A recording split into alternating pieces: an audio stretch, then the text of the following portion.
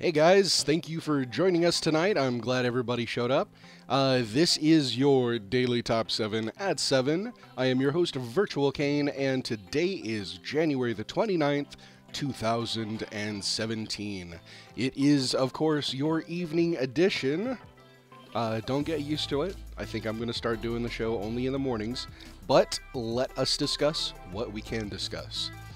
Global backlash grows against Trump's immigration order. A global backlash against U.S. President Donald Trump's immigration curb uh, gathered strength on Sunday as several countries, including long standing American allies, criticized the measures as discriminatory and divisive. I believe this is something that we actually discussed this morning. I think they put a new picture on it and rebranded it as new news. Hmm. All right, Trump says U.S. will resume issuing visas to all countries over the next 90 days. President Donald Trump, trying to quell a backlash over his extreme vetting order, said the U.S. Uh, would resume issuing visas to all countries once secure policies are put in place over the next 90 days. Well, that's actually not too bad. Three months. Uh, I believe when Obama took office, he said he was putting a six month ban on Muslim entry into the nation. Um, and that was like six months. So just 90 days, I think that's, um, that's something to live up to. we'll see what happens, guys. Uh, Saudi king agrees in call with Trump to support Syria, Yemen safe zones. Saudi Arabia's King Salman, in a phone call to uh, in a phone call on Sunday with U.S. President Donald Trump, agreed to support safe zones in Syria and Yemen. A White House statement said.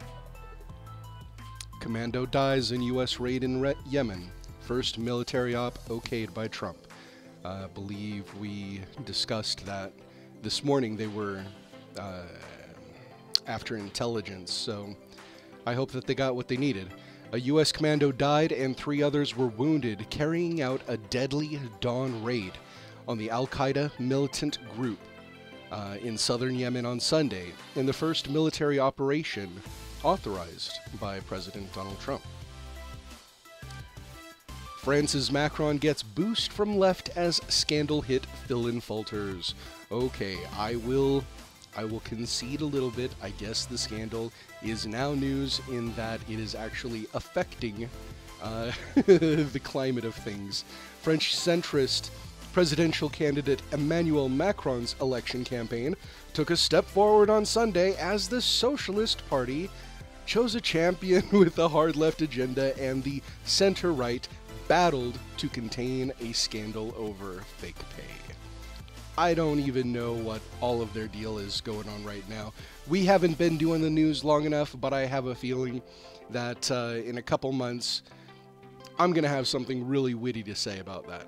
But for now, Yemen says Trump's ban on Muslims supports extremists.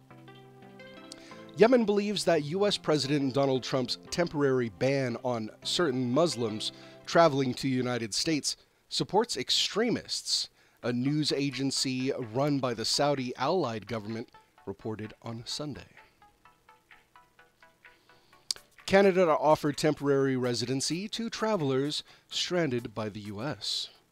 Canada will offer temporary residency to any traveler stranded by U.S. President Donald Trump's order uh, orders temporarily barring people from seven Muslim majority countries, a senior official said on Sunday.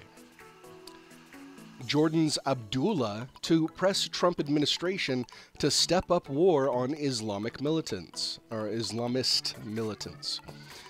Jordan's King Abdullah will hold talks with U.S. President Donald Trump, Trump's administration in Washington on Monday on how to bolster the kingdom's domestic security amid the growing risk of Islamic State militant attacks, officials and diplomats said.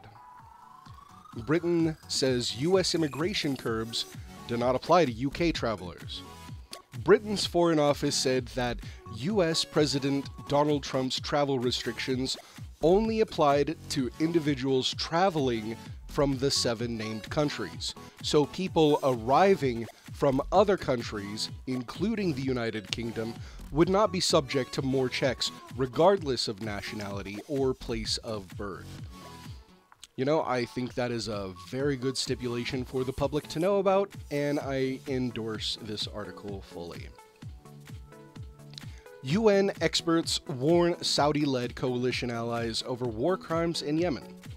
A Saudi Arabia led military coalition has carried out attacks in Yemen that may amount to war crimes.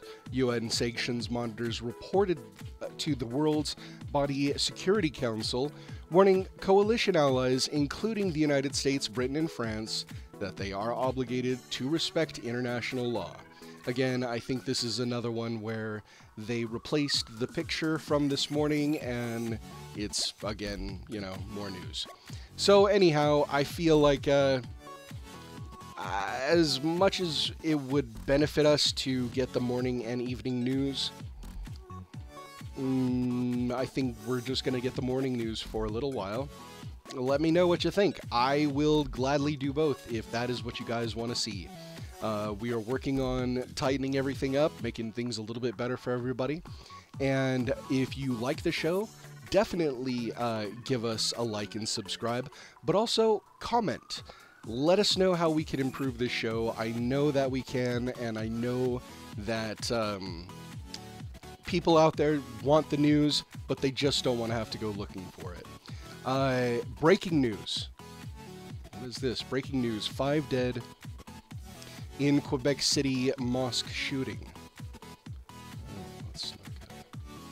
All right, well, you heard it first. Maybe. All right, guys. Thank you for tuning in. I will see you guys tomorrow.